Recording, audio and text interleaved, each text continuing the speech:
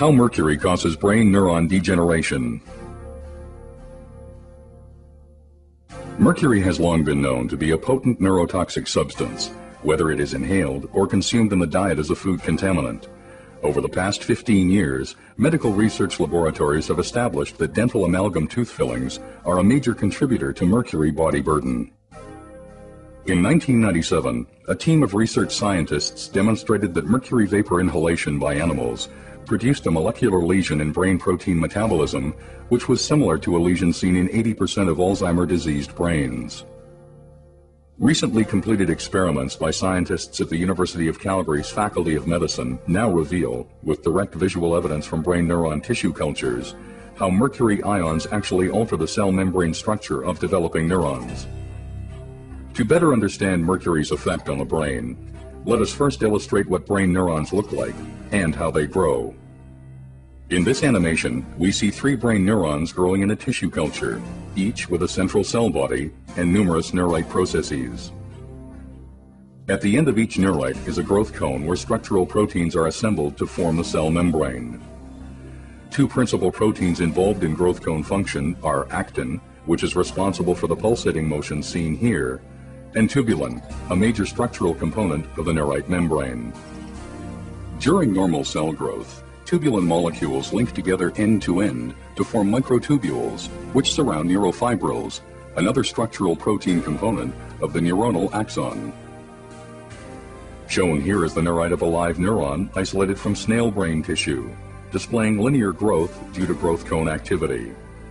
It is important to note that growth cones in all animal species, ranging from snails to humans, have identical structural and behavioral characteristics, and use proteins of virtually identical composition.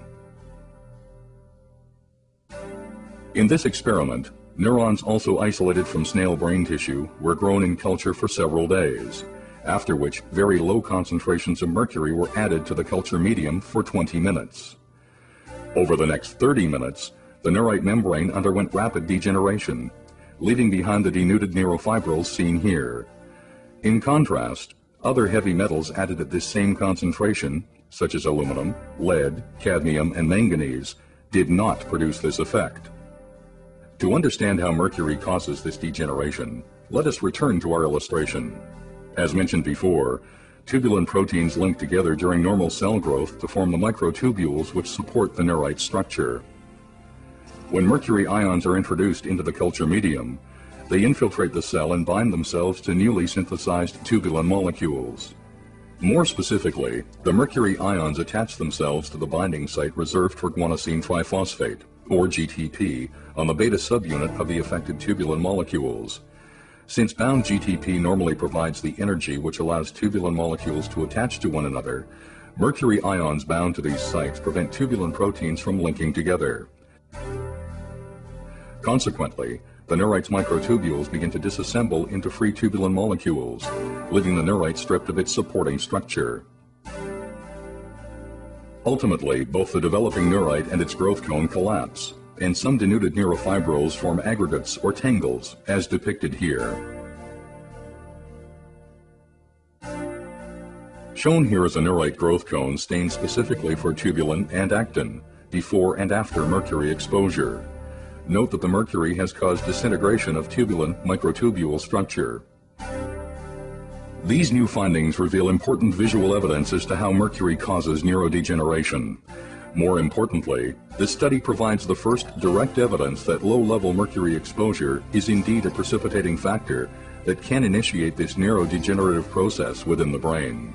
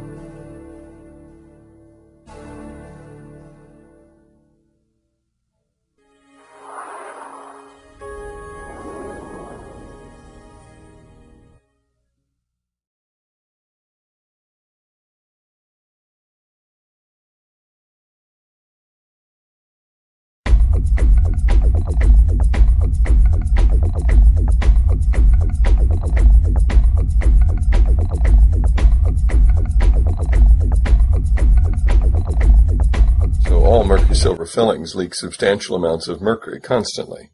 The amount increases with any kind of stimulation, and as a result, mercury from fillings produces the majority of human exposure to mercury. The International Academy of Oral Medicine and Toxicology is extremely concerned about the anecdotal claims of safety by manufacturers and dental trade associations that are at variance with the published peer-reviewed scientific evidence to the contrary. The precautionary principle requires action once the possibility of harm exists. It does not require proof beyond a shadow of a doubt that in the case of heavy metal and xenobiotic exposure is both nearly impossible and unnecessary, in our opinion. What you're seeing is mercury vapor coming off a 25 year old silver amalgam filling in an extracted tooth. The background is a phosphorescent screen. The mercury vapor absorbs the fluorescent light, and you can see it as a shadow on the screen. This is mercury coming off a filling that was dipped in water that's the same temperature as the human body. This is a filling that was rubbed with a pencil eraser for just a few seconds. Like going to the hygienist and having her clean your teeth. These are not small amounts of mercury. If you can see it, it's more than 1,000 times higher than the Environmental Protection Agency will allow for the air that we breathe. What about the last time you went to the dentist and they drilled on your tooth? Here is the mercury vapor every time you raise the temperature to 110 degrees with hot coffee or warm water, or even chewed on it. Mercury comes off fillings every time you stimulate them, and that stimulation causes the mercury to continue to leak out of the fillings for an hour and a half at a minimum. Some people grind their teeth. Some people chew gum. The dentist might send an old gold crown to the dental lab to be welded. How about the dental personnel? They're not being given informed consent. Back in 1985, the International Academy of Oral Medicine Toxicology set out to determine the amount of mercury that was coming off fillings. And here's the graph. Showing substantial quantities of mercury were measured coming off fillings. And then we estimated the total dose. And then we began animal experiments and put radioactive fillings in sheep. Mercury accumulated in the jaw, stomach, liver, and kidney of the sheep in just 30 days. Substantial quantities of mercury spread from the fillings to every organ in that sheep's body. This should be of concern for everyone. Then we measured that the sheep's kidneys dropped in their ability by 60% to clear inulin, an indication of kidney malfunction whole body imaging of monkeys found exactly the same thing. Proponents of amalgam fillings claim that sheep chew too much. Well, what's the problem with monkeys? They had mercury in their jaw, kidneys, liver, intestine, and heart. And further research found dystrophic bacteria that were antibiotic resistant cropped up in the intestines within two weeks of receiving these mercury leaking fillings. Further studies have found damage to the ADP ribosylation of brain neuron proteins. In response to the controversy, and at the request of the Federation of Experimental Scientists and Biologists, Drs. Fritz Lorscheider and Murray Vimy wrote an editorial, the first ever in FASEB, that point by point refuted the claims of the amalgam proponents. In 1991, the World Health Organization acknowledged that the predominant source of human exposure to mercury is from your fillings. That should be of concern to anyone wanting to have healthy children, because mercury is highly damaging to fetuses. Experiments in sheep showed that mercury from the sheep's fillings transferred immediately to the placenta, to the unborn fetus, and to every conceivable portion of the fetus's body. It even increased in the lamb higher after birth from mercury in the mother's milk. There's no such thing as a safe mercury filling. All mercury fillings leak mercury. The combined effect of mercury, cadmium, and lead is just now being investigated, but it's not one in one. It's synergistic, and one in one may make 100 or even a 1,000. Why is that of concern? Over and over again, we've heard that children are exposed to lead from our environment. Mercury and lead is many times more toxic than just mercury alone. These black, corroded, pitted mercury fillings are used where you must drill away a third of the tooth in order to fix a pinhead-sized cavity. Even if you love mercury, it's the wrong thing to do to the children. It leads to broken, diseased, root canal extracted teeth throughout the rest of the life. It's a blunder that costs the child all through their life. Millions and millions of dollars are spent annually fixing teeth again and again. And dentists don't follow the manufacturer's recommendations. They pack mercury in children around gold crowns, underneath bridges. They stuff it around the gum line in contact with tissues. There's mercury spreading from this gold crown to every tissue in that patient's body. Even if you like mercury fillings, putting that kind of filling in the tooth is simply the wrong thing to do. Harald Löe, the former director of the National Institute of Dental Research, back in 1993, wrote, The first filling is a critical step in the life of the tooth. Using amalgam for the first filling requires removing a lot of tooth substance, not only diseased tooth substance, but healthy tooth substance as well. So in making the undercuts, you sacrifice a lot, and this results in a weakened tooth. The next thing you know, the tooth breaks off, and you need a crown. Then you need to repair the crown. And so it continues to the stage where there's no more to repair, and you pull the tooth. With the first filling, you should do something that can either restore the tooth or retain more healthy tooth substance. Use new materials, composites, or materials that can bond to the surface without undercuts. You can do this with little removal of the tooth substance so that the core of the tooth is still there. I would add that the cost of all that dental repair over and over again makes the cost of mercury fillings enormous, even if you don't consider the neurological impairment and the brain damage that they surely cause in dental personnel, and the infertility and the heartbreak that they've caused to so many families. It is the opinion of this Academy that responsible government agencies should prohibit the use of these fillings until such time as their manufacturers produce the alleged evidence of safety.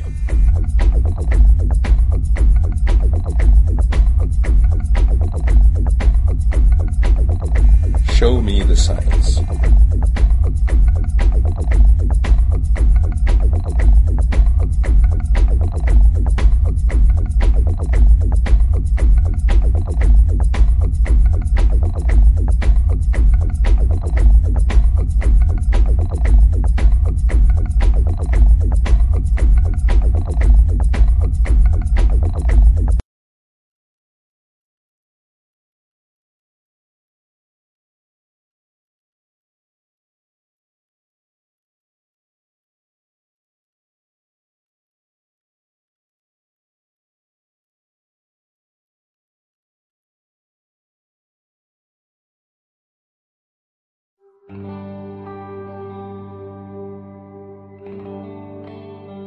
Research has shown that mercury fillings can be highly toxic to the body and can lead to a suppressed immune system by targeting the nerve cells. Mercury fillings have also been linked to chronic fatigue syndrome, Alzheimer's disease, autism, and asthma. It's crucial that the fillings be removed correctly with proper precaution so the mercury doesn't leak into your system and cause serious health problems. Dr. Ellis is concerned about the patient's safety first, so she is more conservative in her approach than more extreme holistic dentists. At Dentist Spa, Dr. Ellis works with her team to isolate the tooth with a rubber dam, high suction, and oxygen. In this way, both the patient and the staff are completely safe. First of all, Dr. Ellis always uses mercury free fillings, which are made of white composite and porcelain materials, or gold inlays to fill cavities instead of mercury or amalgam fillings as they're known in the community.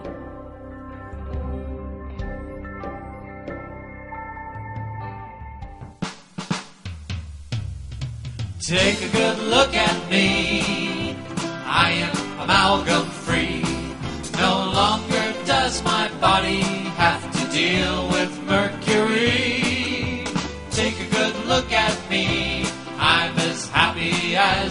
be. I'm so glad to be mercury free. I went to see Dr. Edwards. His dental chair has a view of the lake. His specialty is correcting all those mercury mistakes. He has the right stuff to fill your teeth so your body can be well. And when you're done, you can sing this song ring that freedom bell. Oh, take a good look at me. I am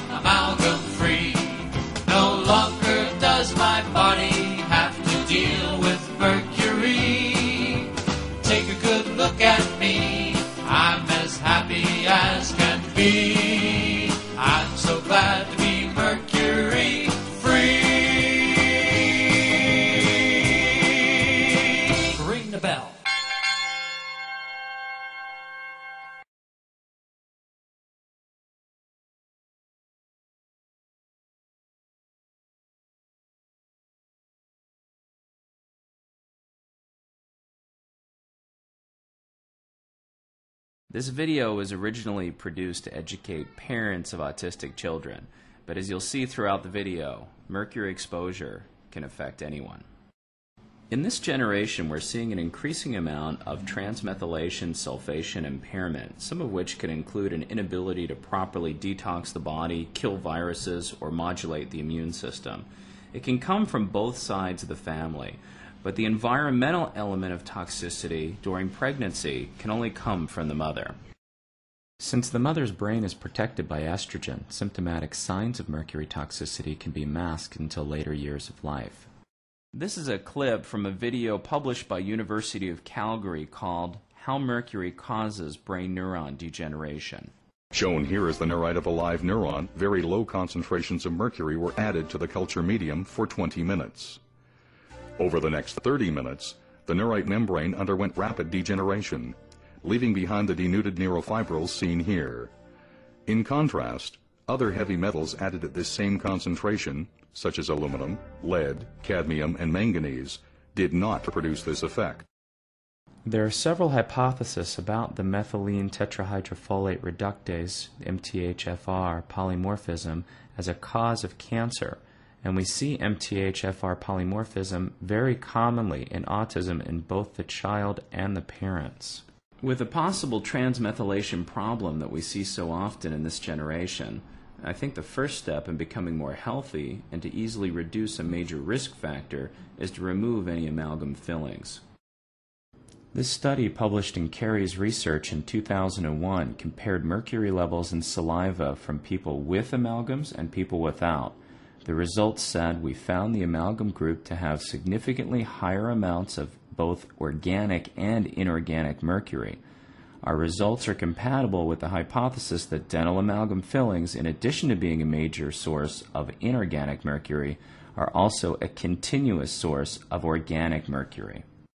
This citation was a rebuttal to the president of the American Dental Association by Dr. Boyd Haley, who's the professor and chairman of the Department of Chemistry, University of Kentucky.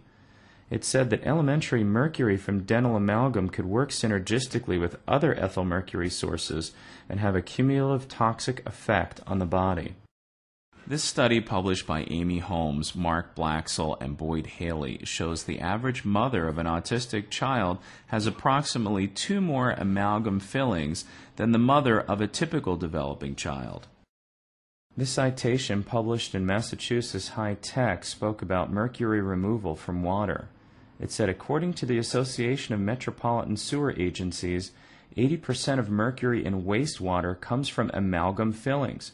Just one filling can push 250,000 gallons of water above the acceptable mercury limits. Let's see what it takes to remove dental amalgam fillings, and here's some comments from Dr. Homa Adler as she removes amalgam from a mother of a child with autism. The first thing to note is to use a dental dam when you're removing your amalgam. I became distracted when I noticed the mercury warning sign on the wall.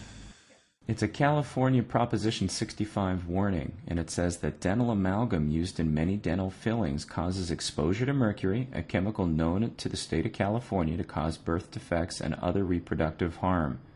It also goes on to say that root canal treatments and restoration, including fillings, crowns, and bridges, use chemicals known to the state of California to cause cancer. Then it says the U.S. Food and Drug Administration has studied the situation and approved for use all dental restorative materials. Which basically says California has found these materials to cause birth defects and cancer, but the FDA said, eh, it's approved. Well, they, when they when they started detoxing her for mercury, she recovered. How do you detox someone from mercury? I found it interesting that the American Dental Association would teach dentists how to put mercury inside teeth, but never even explain that you can remove mercury toxicity from the body. His plastic dental dam ripped, so next time I know to ask for a rubber dental dam. What do you see? First, look into my mirror. I see it. Do you see that black stuff? Yeah, it looks like actually it looks like the, the filling's still in there. Yeah. Yeah. Yeah, it, it, it's not, no, there's no filling in there. So that brown stuff is what? Just Just discoloration of mercury. Let me clean it up better. So you basically, that's when the mercury has seeped inside the tooth. The tooth should be white. It's not going to go away. so how do you get the mercury off the tooth after? Nothing. I, there's no way for me to get it up. It's there. Unless you take the tooth out. You just uh, look at that. Right. You want to go in there? Yeah, yeah, yeah. You want to get it from my mirror? I see it. I see it from the mirror perfectly. So all that brown is mercury. The only thing left was the seepage from the amalgam filling going into the tooth, and who knows where else. So do you think mercury uh, in fillings should be illegal? Of course it should be illegal. I mean, this is what we see every single day when we take the uh, uh, mercury and the silver fillings out. I mean, you can see it. it. It's don't take my word for it. Just look at it. Why don't you think they make it illegal? Why? Because if they do, you know, all everyone should be called in. All probably medical, all those free programs. Um, and it's a, like a recall. You think they have money to do this? I don't. don't She thought that making amalgams illegal would bankrupt Medi-Cal. Either way, isn't it time to get these out of your mouth? We were just about to publish this video, and then we received more disturbing news. When they did the MRI, they said, yes, there is a pressured nerve, but you have a tumor in your kidney, in right kidney. And, you know, I have never been sick. Never, ever had a problem. Never had a cold. Eat healthy. I'm not obese. I'm not fat. There's no history in my uh, family. I was just shocked. They took my kidney out and they took my um, the nerve. I had a back surgery also. In a month, I came back to my oncologist. They found I have breast cancer. Did a mammogram, biopsy, a surgery, lumpectomy. It was in my lymph nodes. I was ready to kill myself because of chemo. There's a dentist upstairs. He heard about me. He said, "You know, I have this. I had the same thing about four years ago. I bet you this this has to do with mercury." What would you tell somebody with silver fillings or people that are thinking about Take it out, and I tell everyone don't become a dentist. There are still big companies that want to push mercury, and you can't stay away from it. But I have heard that in Europe, you know, they are going to ban it, and uh, mercury is not going to be around anymore. I just don't know what's happen- why it's not happening in United States. I wouldn't recommend anyone to become a dentist or anyone to have a silver filling.